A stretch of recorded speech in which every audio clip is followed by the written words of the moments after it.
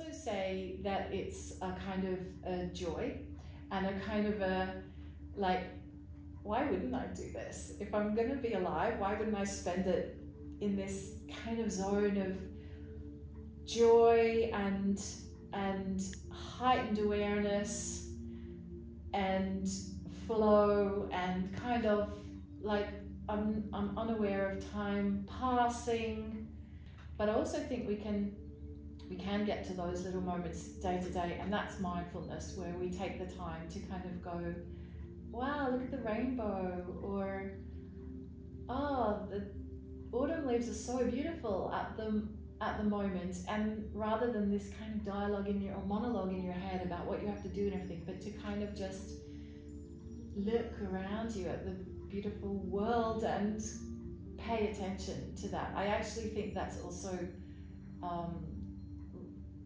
really key that you can do that even in the little moments between things so that you're yeah while i'm walking all i have to do is walk I don't have to do anything else now. So I'm just going to walk and I'm just going to pay attention to the walking.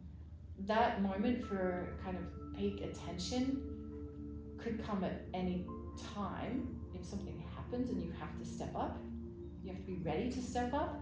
And also, that joy is kind of available at any moment, right? We Yeah. just need to take it.